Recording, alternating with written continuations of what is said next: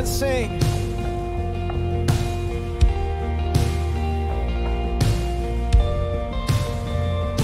We make way for you, prepare a place for you. Let our praise become your throne. Hear your people sing, we give you everything. Jesus, all for you alone. All hail the King. All hail the King. All hail the Savior, Jesus, the Son of God.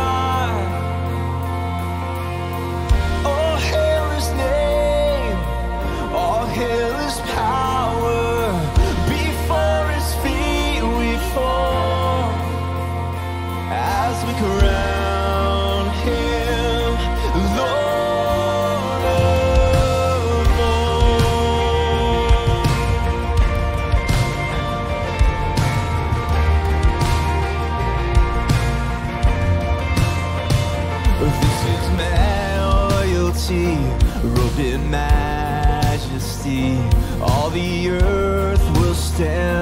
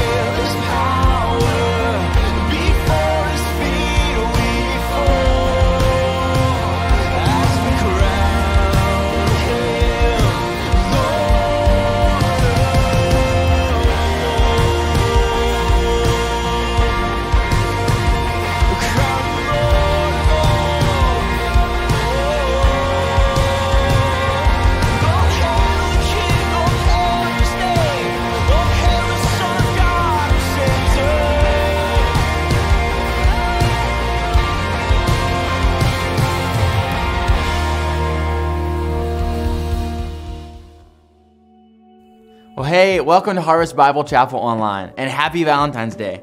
My name is Zach Moore, and this is my Valentine, Rachel. I'm so glad you joined us. Hey, we would love to know where you are watching from today. Let us know in the chat or in the comments. Or you can take a photo of you watching online and post it on Facebook or Instagram. with the hashtag HBC Chicago Online. Absolutely. And if this is your first time with us, I especially want to welcome you. No matter where you're joining us from today, we are so excited that you're here. Well, whether you're new or you come every week, this is a time that we want to invite you to check in. You can do that on this page, through a link in the comments, or on the Harvest Bible Chapel app. And we would just love to know that you're here today and how we can be praying for you this week. That's right. Harvest Christian Academy is now enrolling for fall 2021. I want to invite you to a virtual open house at HCA on Tuesday, February 16th at 7 o'clock p.m. for grades kindergarten through 12th grade and at 9 o'clock a.m. for preschool. Even though the open house is virtual, HCA is actually not. HCA offers full in person learning. If you're a parent, we invite you to join the virtual open house to learn more about HCA's Christ Center academics, arts, and athletics. Go to harvestchristianacademy.org slash open house to register today. Absolutely. And we want to thank the Lord for the great work He's doing through our Hope Centers. Yes, yes. Um, our Hope Centers are at the Rolling Meadows, the Elgin, and Crystal Lake campuses. And these centers are open on Saturday mornings from 10 a.m. to noon, and it's free to everyone. So we're offering food and hygiene products to anyone that's in need. So if we can help you or you know someone who needs help and hope, come this Saturday morning. Hey, if you're a young adult like us, single or married, you're invited to join us on Thursday, February the 25th at 6:30 p.m. at the Rolling Meadows campus. This is for all young adults. God's at work in this group and we want you to be a part of it. We've been to the last Yeah. few and they've been outstanding. awesome. So for more details on that, go to harvestnow.info. Yes, and women, this one's for you. We are just three weeks away from the Women's Conference on March 5th through 6th at the Rolling Meadows and Elgin campuses, and it will be online. I went last year, and I just remember it was so awesome to be in that community of women. And I'm super excited about this year as well. We have some awesome speakers coming in, awesome worship and workshops, and just community time. So register today at harvestnow.info. Amazing. I love it. Hey, to help you worship the Lord through giving, we want to remind you of ways to give. You can give online on this page. You can also hold the camera on your phone up to the QR code on this screen, and it will take you directly to the giving page on the Harvest website. You can give through the Harvest Bible Chapel app, through a text, or by mailing your gifts to the Rolling Meadows campus. Well, that kind of wraps it up for all the announcements and Yeah. stuff. So, um, as we continue, will you just join me in prayer? Uh, Father, we're just so grateful to gather before you today. Um, Lord, we're just so uh, thankful for the opportunity to be able to do this online. And um, Lord, we love you so much. Would you be with us today as we continue in worship of you through this service? In your name I pray. Amen.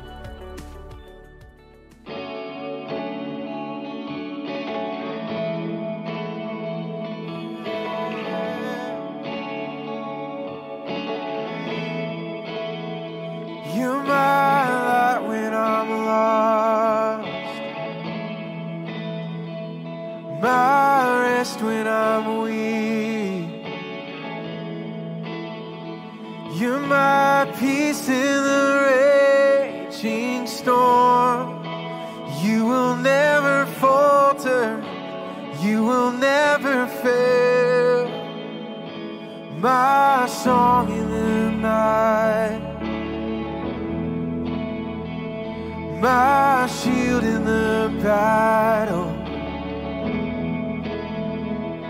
my help when I need it most. You will never falter, you will never fail. So come on, I will call on the name, I will call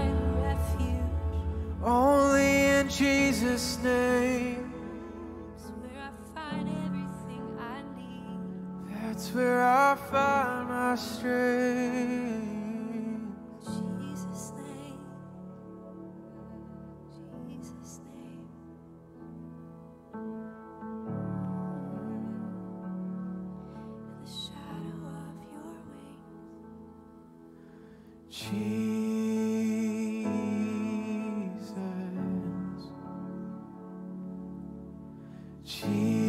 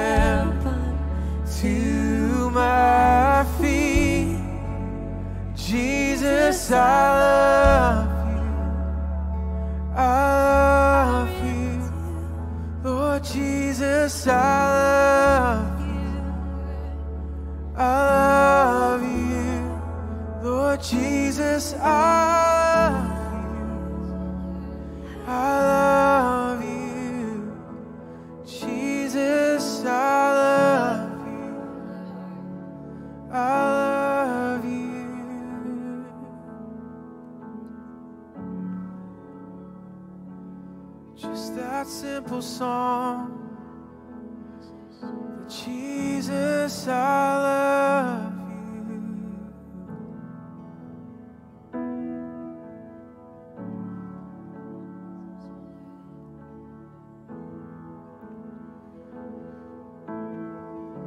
It's a beautiful thing that just singing through that song, calling the name, and then straight into this one of just saying, Jesus, I love you. Jesus, I love you. That's the response to the things of the fact that He's our light when we're lost. His word can be a lamp to our feet. Those are things that were designed by Him for our good. Because He's a good Father and because He loves us. And because He first loves us, that means we can respond and we can love Him. And that is just so, so awesome and so beautiful. We're, uh, we're going to watch a testimony right now of a couple in our church who everyone here knows. I know it's uh, the Moody's, Ramirez and Kathleen Moody.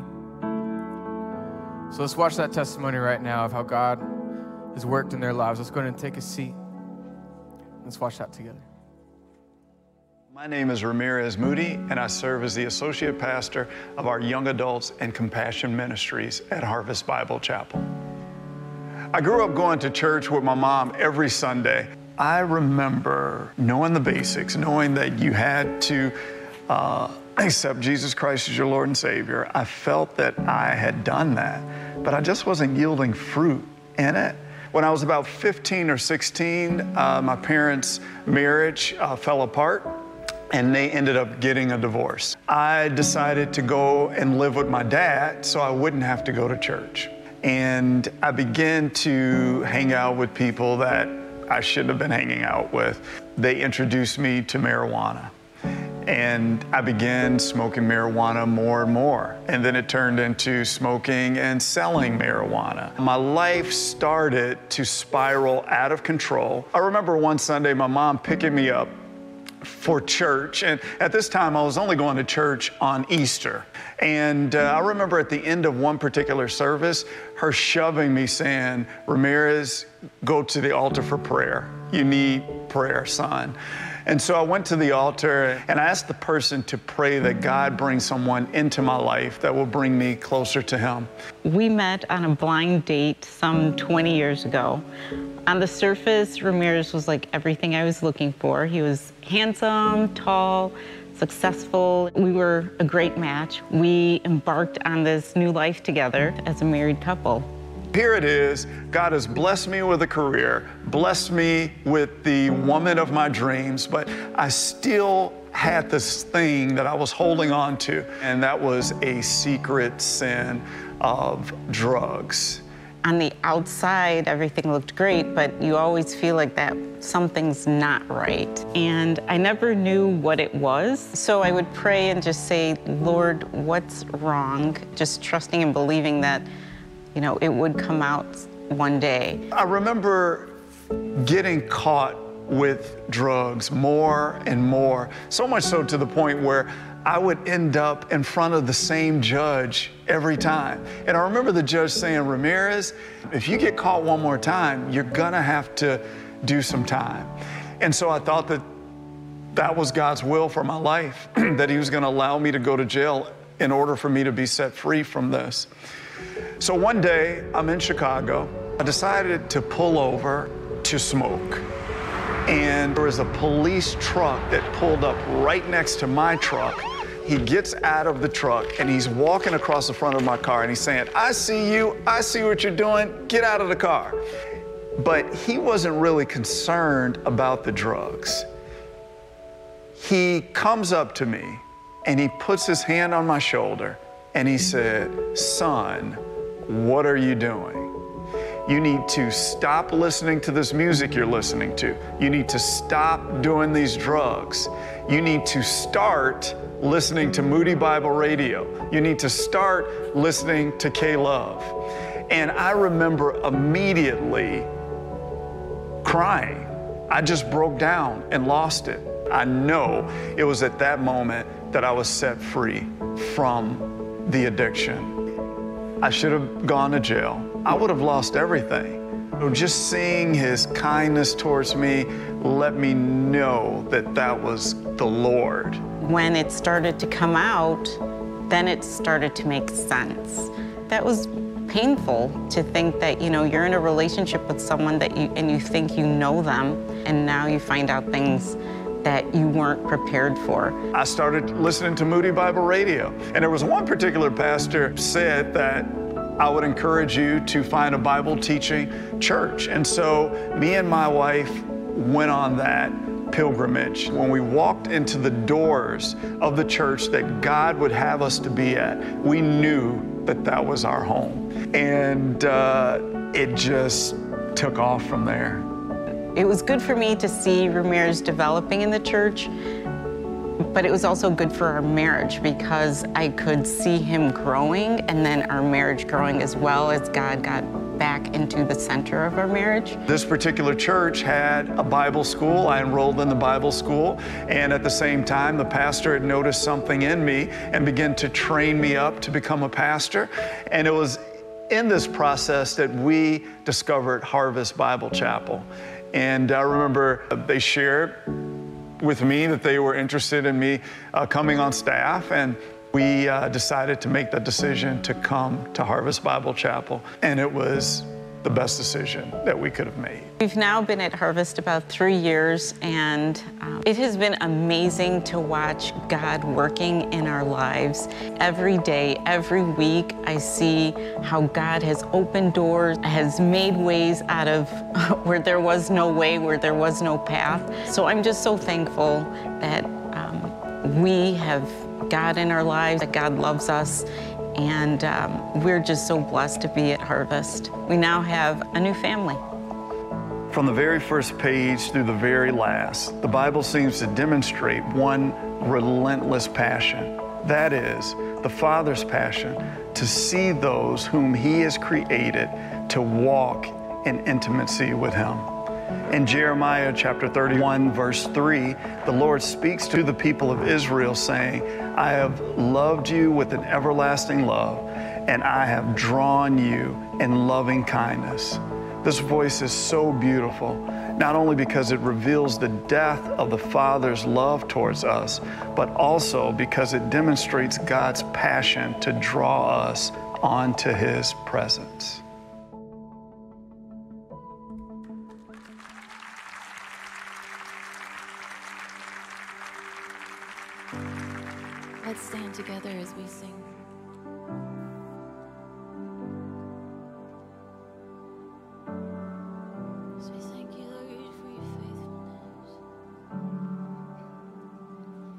Love you, Lord. Oh, your mercy never fails me. and all my days, I've been held in your hands. From the moment that I wake up until I lay my head, and I will sing of the goodness of God. Let's sing this all out together.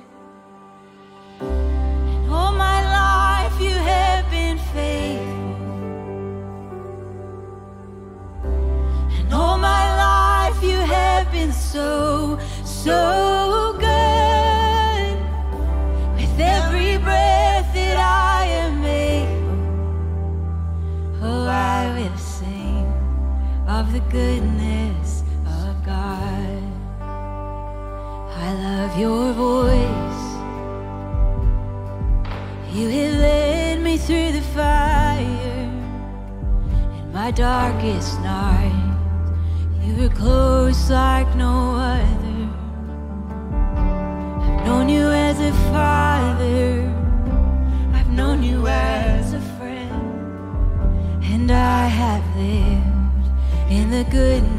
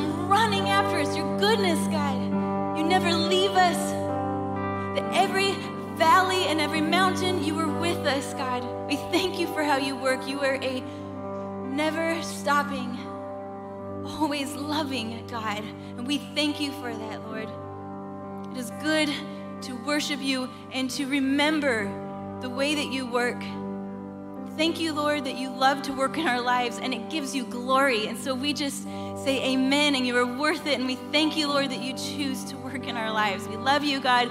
And all together we say amen. Amen. All right, you guys can go ahead and have a seat.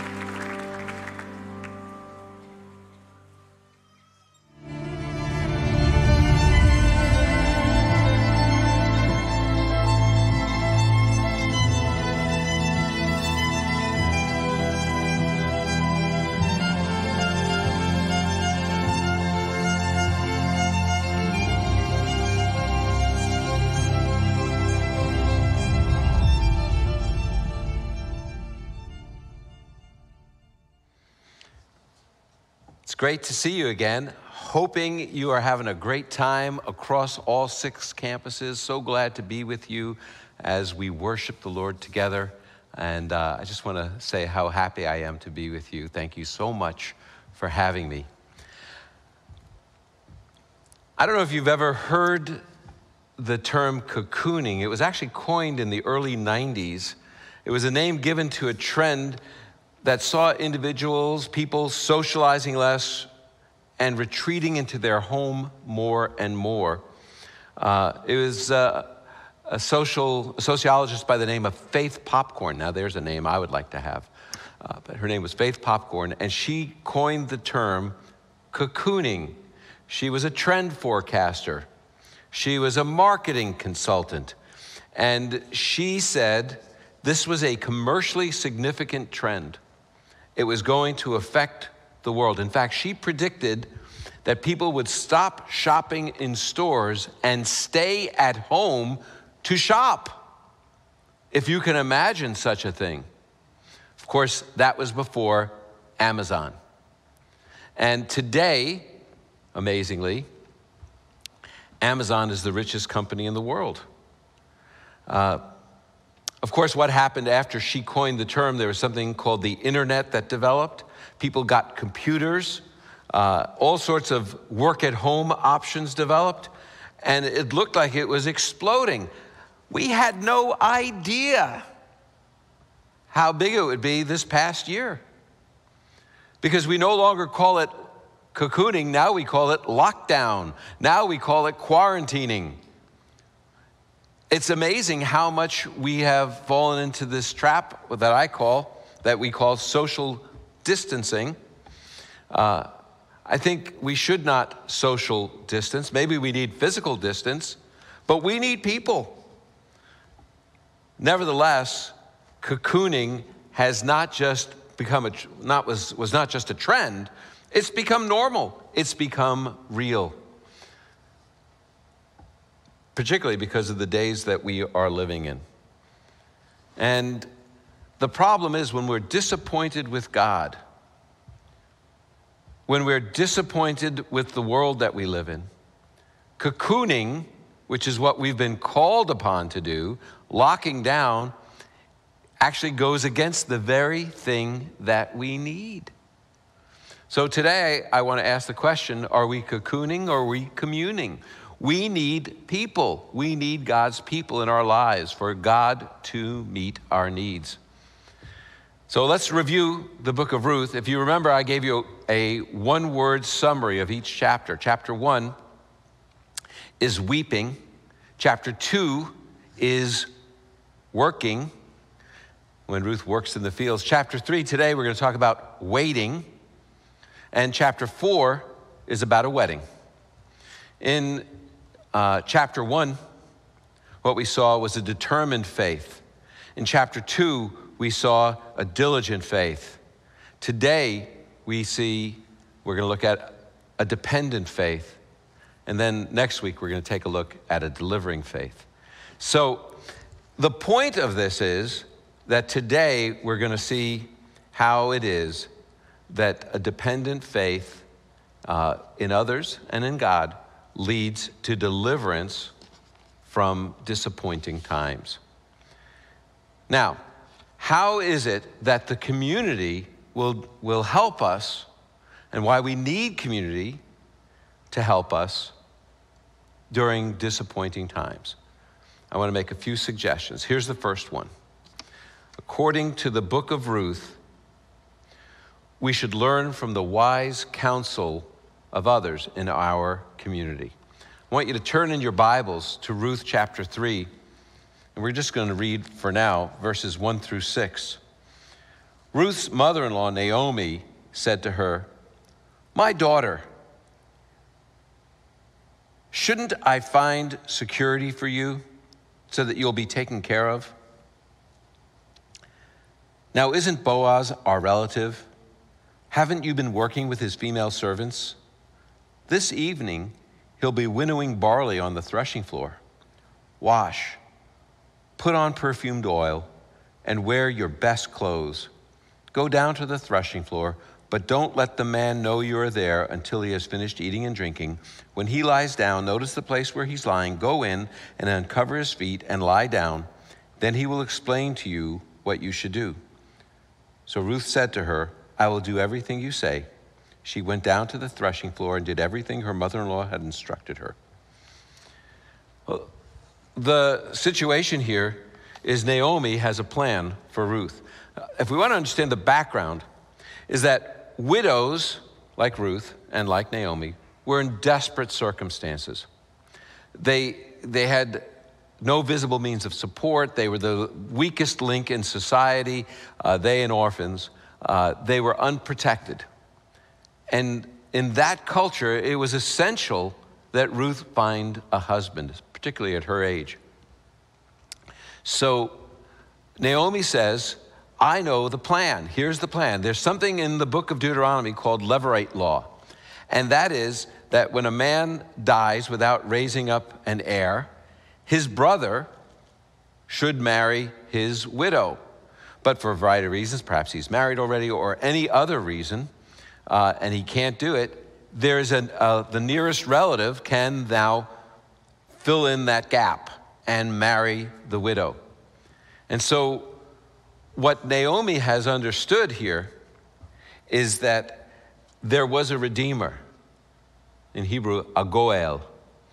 The Goel was the kinsman redeemer, a relative that would redeem that widow, marry her, and raise up an heir for his dead relative.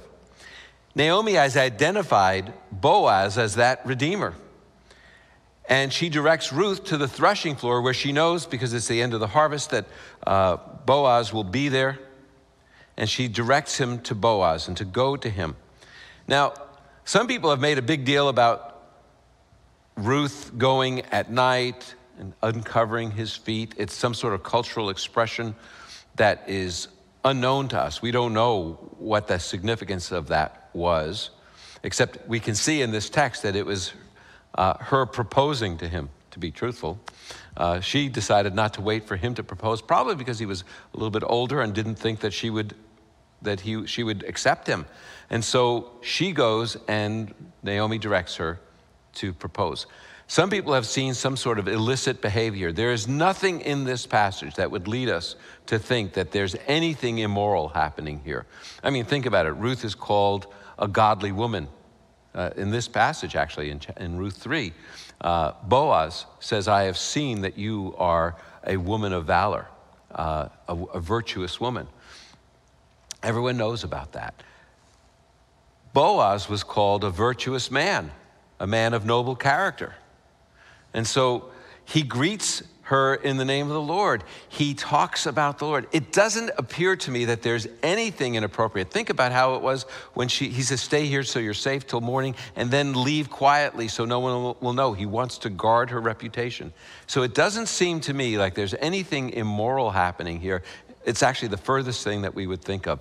Rather, it's a private meeting so that she could ask him to be her redeemer her Goel.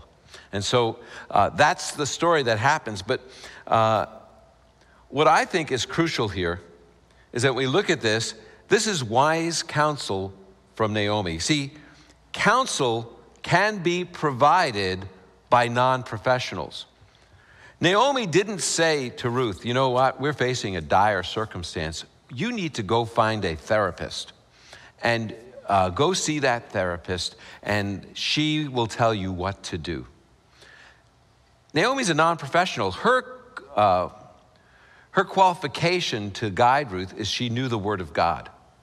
Her qualification is that she had wisdom of years, a long relationship with the Lord, and knowledge of the Word of God. And therefore, she gave Ruth wise counsel. And so often we think the only way we can get good counsel is if we will uh, go to a professional. But here, look what Ruth says Ruth in 3 1.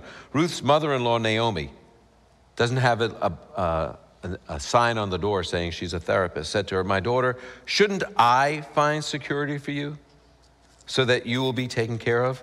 I'm not a PhD in clinical psychology, Naomi says, but I know the Word of God, and this is my obligation. This is what I should do. The second thing we see about wise counsel is counsel should be rooted in Scripture. She says to Naomi, Naomi says to Ruth, Now, isn't Boaz our relative? Haven't you been working with his female servants? What she, when she says, Isn't he our relative? she is saying, Look at the Levirate law. This is the person that should be our Redeemer. Let's look to see what Scripture has provided for us. So she gives her counsel that is rooted in Scripture. When I was a young pastor, back when Lincoln was president, but anyway, I was a young pastor, and there was a family in my congregation that was seeing a therapist for their family issues. And she was very qualified, uh, but she didn't believe the Bible. She didn't believe in God. She was totally secular. And every bit of advice she gave this family tore them apart. It never brought them together. And when I didn't want to be their counselor, it's not like I'm looking to counsel people, but I wanted them to be helped. And I intervened and I said, listen, you guys need to get biblical counsel, counsel that is rooted in Scripture and not what you're getting. That couple got so mad at me, so, so mad at me that they quit the congregation. You know, I think that's okay. Uh, that's, I still would do that very same thing. The sad part to me is now I've got lots of hindsight. I can look back at it and see all the years. And what I discovered was that that couple ended up breaking up, divorcing. And many, many years later, I was speaking at a conference, and the husband was there, and he was still, he's still walking with the Lord. And uh, he came to me. He said, I hope you'll forgive us for leaving so abruptly. I said, I, Yeah, that's fine. He says, I wish I had listened to you and just found someone that would give me counsel from Scripture. It's so clear that that was wrong. And I had the great feeling of, yeah, see, I told you so. But I didn't say that because my heart was breaking for this man. Uh, the truth of it is, had they gotten counsel from Scripture, they would have had a much better shot at succeeding in their marriage and in their family. Here's the uh, third thing about non professional counseling counsel should be followed. If it's wise counsel, it should be followed. It says that Ruth said, I will do everything you say. Uh, I love that. I will do everything you say. And she went to the threshing floor and she did everything her mother had instructed her to do. She did exactly what she said. Now, maybe that's why I'm a professor today and not a pastor. But my biggest frustration when I was a pastor and I would meet with people for discipleship and counseling and encouragement and things like that, eh, when they were having problems, I would give homework. This is what we need to do. Uh, oftentimes, Eva would be with me when we would meet with, with couples or with individuals, and we'd lay out biblical homework. This is what you need to do for next week when we're going to get together and talk about that.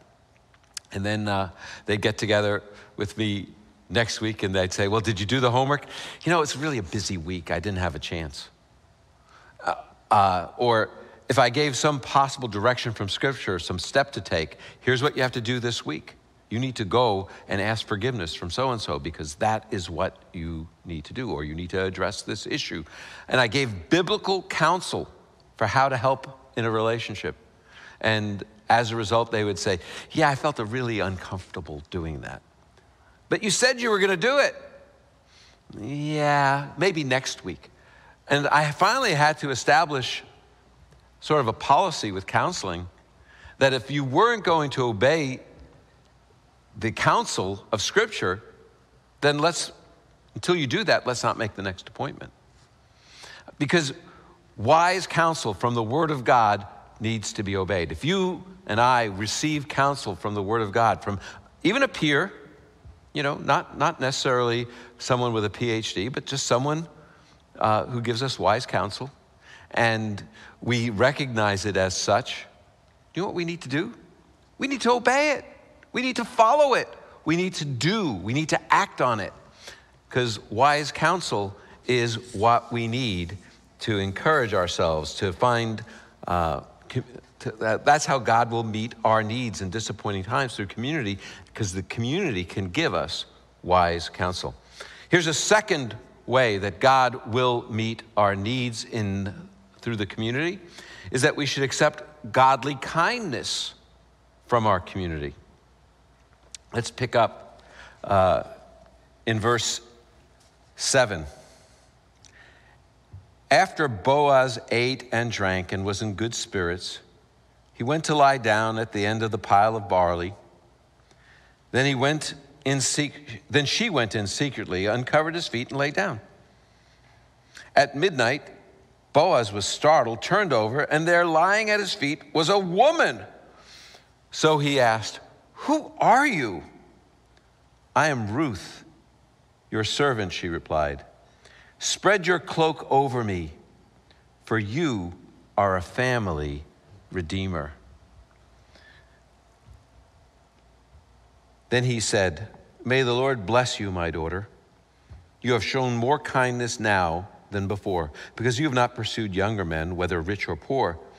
Now don't be afraid, my daughter. I will do for you whatever you say, since all the people in my town know that you are a woman of noble character. That's the word, the female version of the word that was used of Boaz in chapter 2. They are perfectly matched. They're both uh, people of noble character.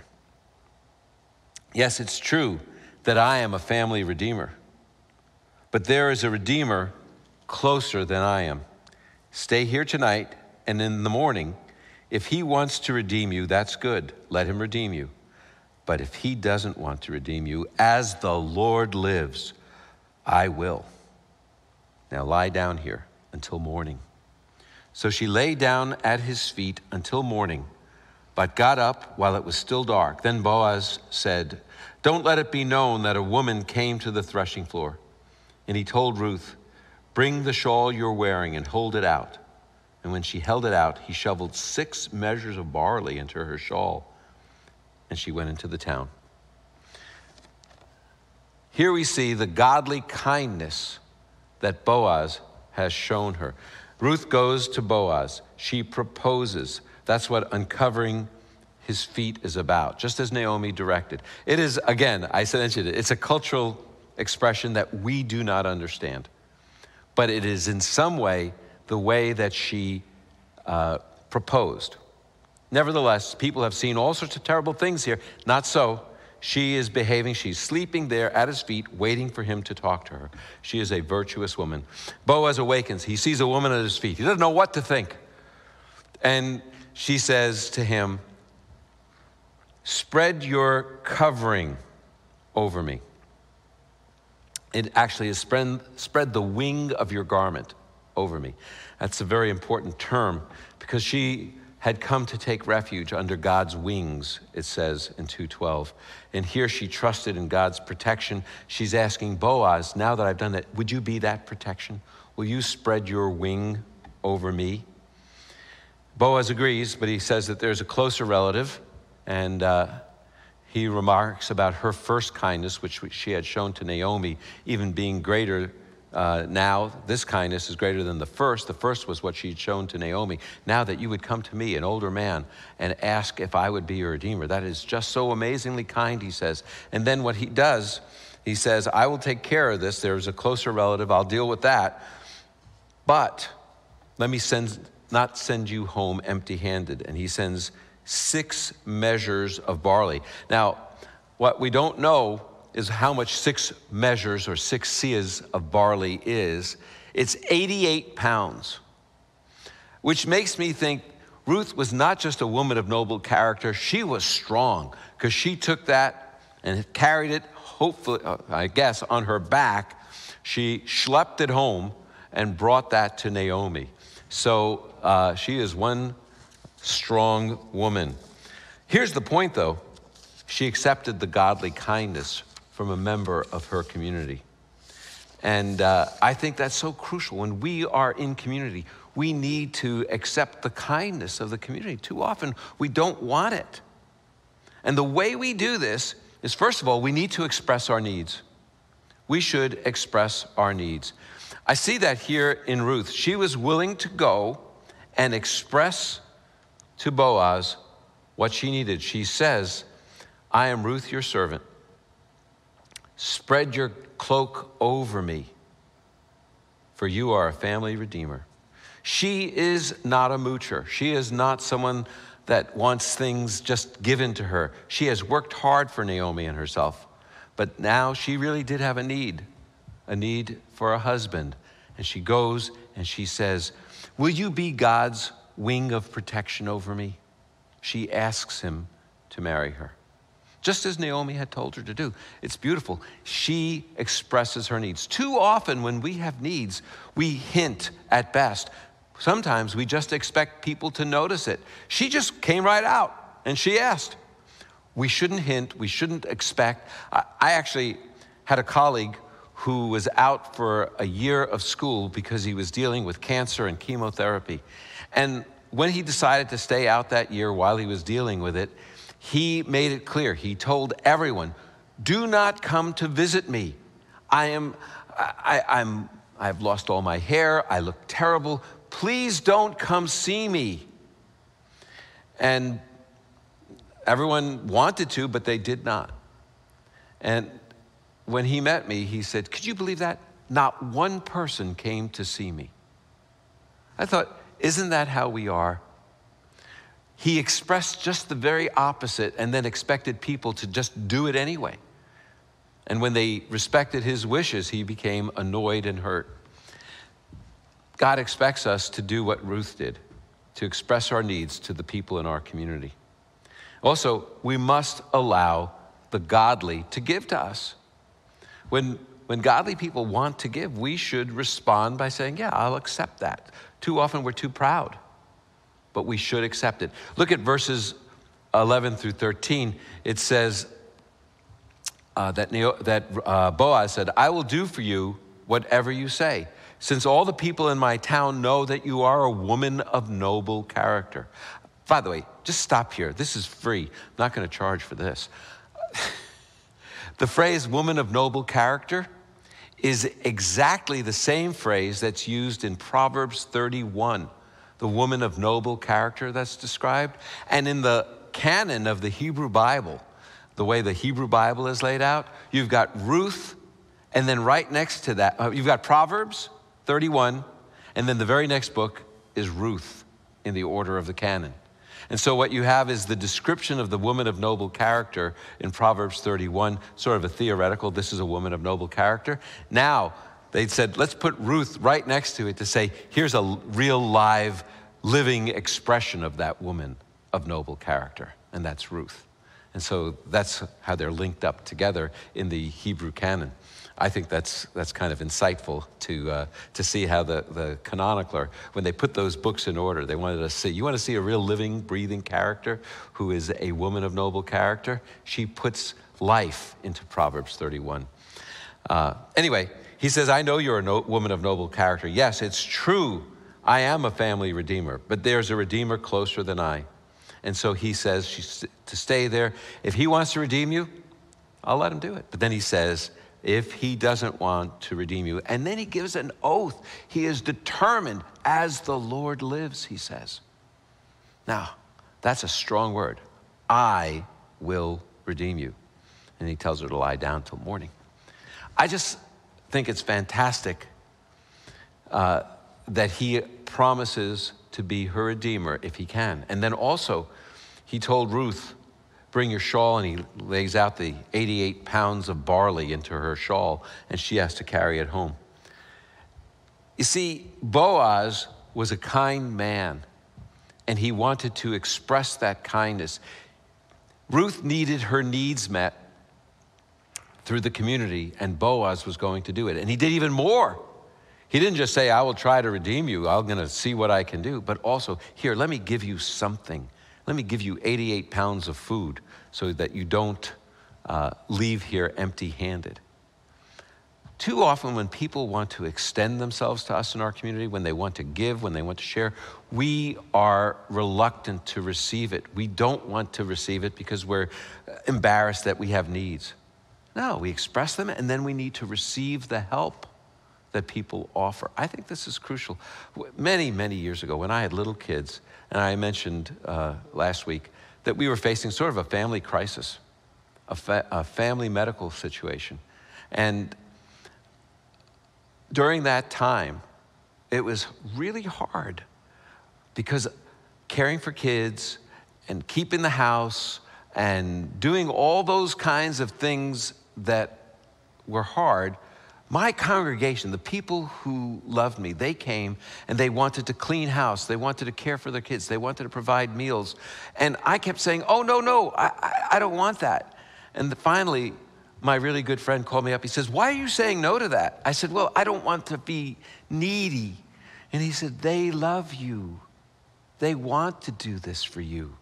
Let them love you. And I changed my attitude. See, I don't want help. I just want to be tough. But God's people are there to help. We need to let people help us when they want. And so uh, we have to allow the godly to give to us. Here's a third way that the community helps us, delivers us. We, we trust in God's deliverance. We have to trust in God's deliverance through our community. Let's pick up chapter 3, verses 16 through 18. It says, She went to her mother in law, Naomi, who asked her, How did it go, my daughter? Then Ruth told her everything the man had done for her. She said, He gave me these six measures of barley, these 88 pounds of barley I had to schlep home, because he said, Don't go back to your mother in law empty handed. Naomi said, My daughter, wait until you find out how things go, for he won't rest until he resolves this today. Ruth goes back to Naomi. She reports, she says all that Boaz gave her, and Naomi assures Ruth that the man is determined to act. Boaz is determined to act. Here's what we see about how God's people are God's instruments of deliverance. First of all, the Lord's deliverance is not always immediate. Have you noticed that? Ruth, in 223, it says that Ruth stayed close to Boaz's female servants and grain until the barley and wheat harvests were finished.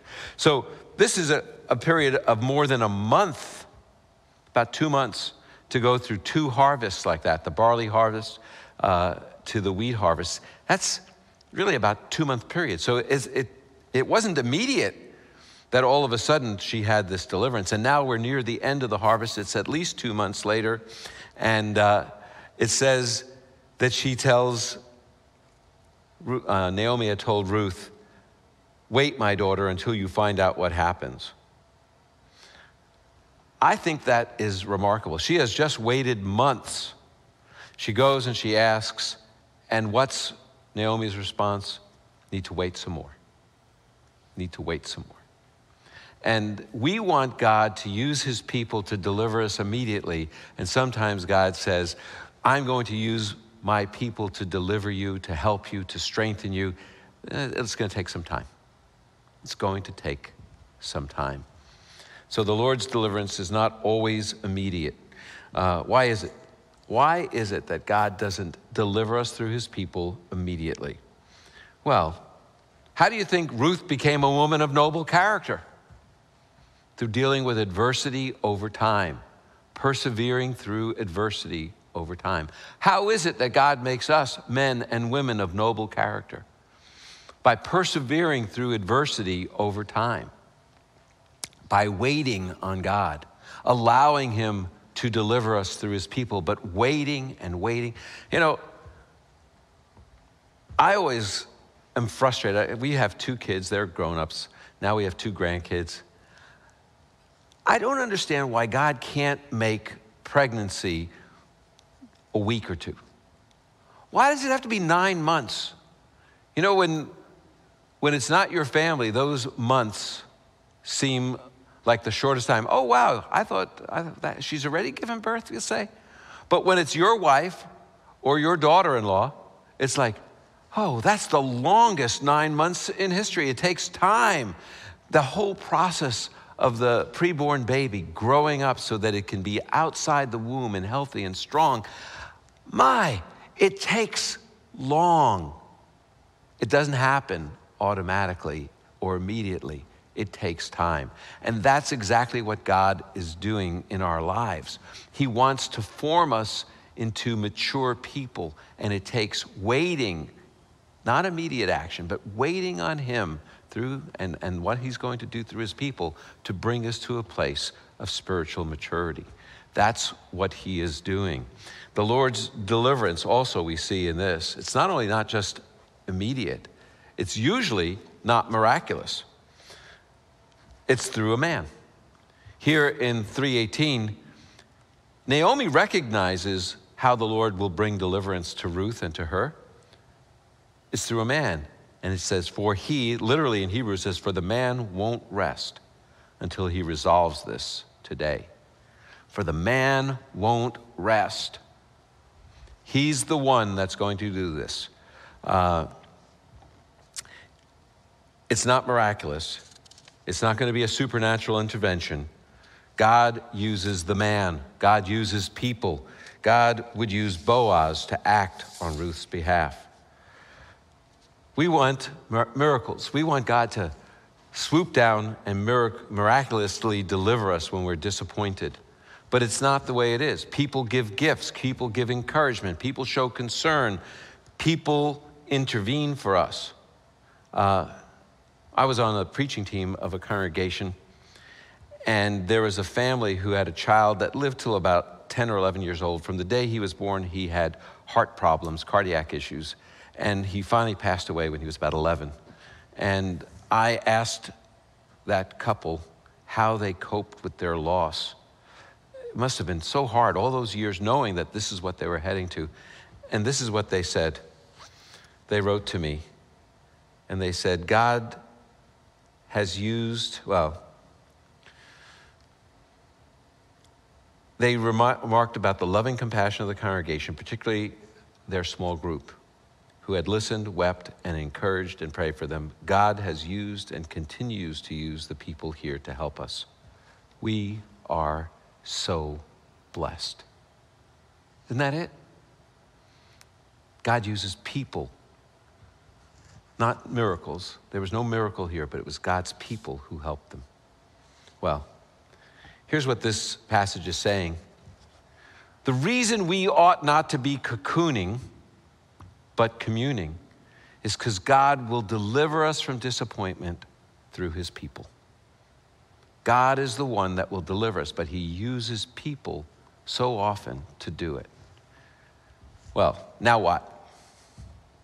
Well, first of all, I want to encourage us to stay faithful to congregational celebration. This is so crucial even today when we're still in lockdowns and many people don't feel like they can go to congregation. This is why these worship services are being broadcast so that we can still worship. We can be commu- a community by a long distance. We can still be part of congregational worship. If you can, come and be part of worship. We need each other. We need to worship together. Don't drop out. When we face adversity, we are most likely to drop out. And that's when we need community most. We need to worship together. There's some people down the street. Uh, I asked them if they've stayed faithful. They don't go to congregation because of the lockdown. I said, Have you stayed faithful watching? They said for the first month they did.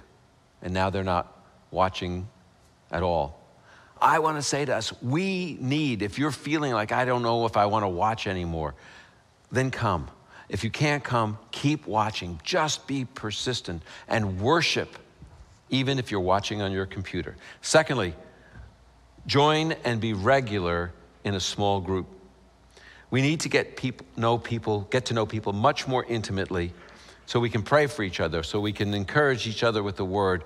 We need each other in disappointing times. We need small groups. But what if my small group can't meet because of the lockdown? That's okay.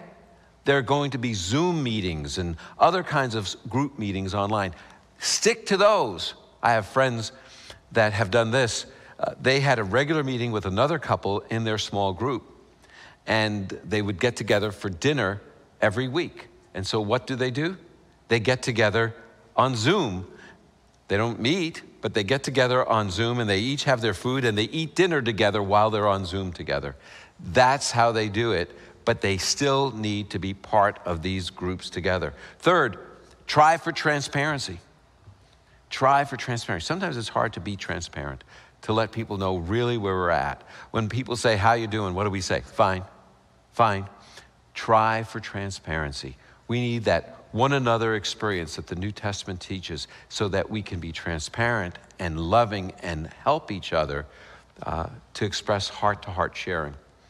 And then, lastly, because of this promise that we have of community, we need to be available to others. We need to do all that we see here in this passage of encouraging, strengthening, being available to be the Boaz in the lives of others, to encourage, to do what we can to help redeem the situation, to give generously towards others. We need to be the ones that are there helping others who are struggling with disappointing times. We need to be the community, not just receive from the community. Do you remember the, the old song by Simon and Garfunkel? I am a rock. Well, I remember it. Probably, maybe you don't. But the song went like this It said, I am a rock. I am an island. Actually, an I, I island. And a rock feels no pain. And an island never cries. That is false. It's absolutely untrue. We need each other. We need each other, especially during this time when we are spread out from each other. We need each other in disappointing times. It is only through community that God will get, bring us hope once again in really disappointing times. Never check out. Don't pull away. We need our community. We need Harvest Bible Chapel, our community of faith, to encourage and strengthen us during these dis- disappointing times. Don't pull out, stick with it. Let's pray. Lord, help us to see your hand in community, to receive all that you have for us in this community, and to be all that we can be to encourage others in our community. Lord, we just commit ourselves to this, to being part of the family of faith, to being part of this community, this body of the Lord Jesus, to be his hands and his ears and his eyes so that we can encourage and strengthen one another. And we pray this in the name of Jesus, our Messiah. Amen.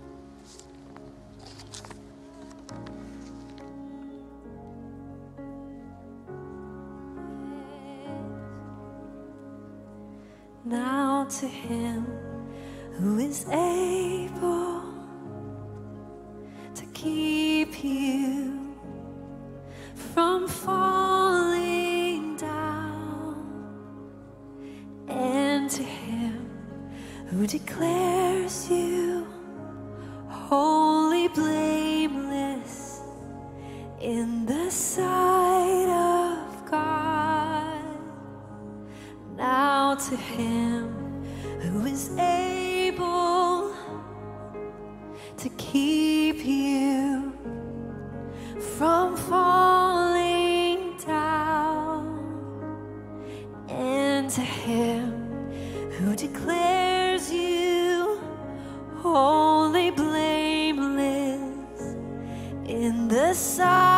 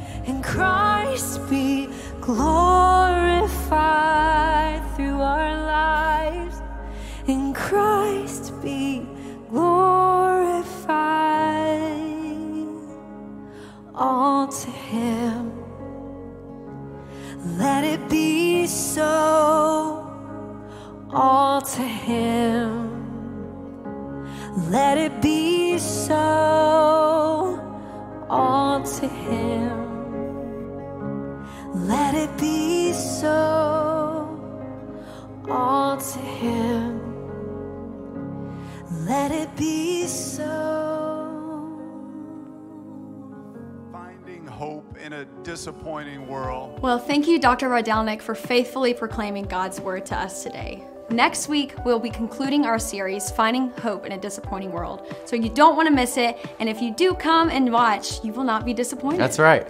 Hey, we want to invite you back next Sunday morning at 9 o'clock and 11 o'clock Central Time.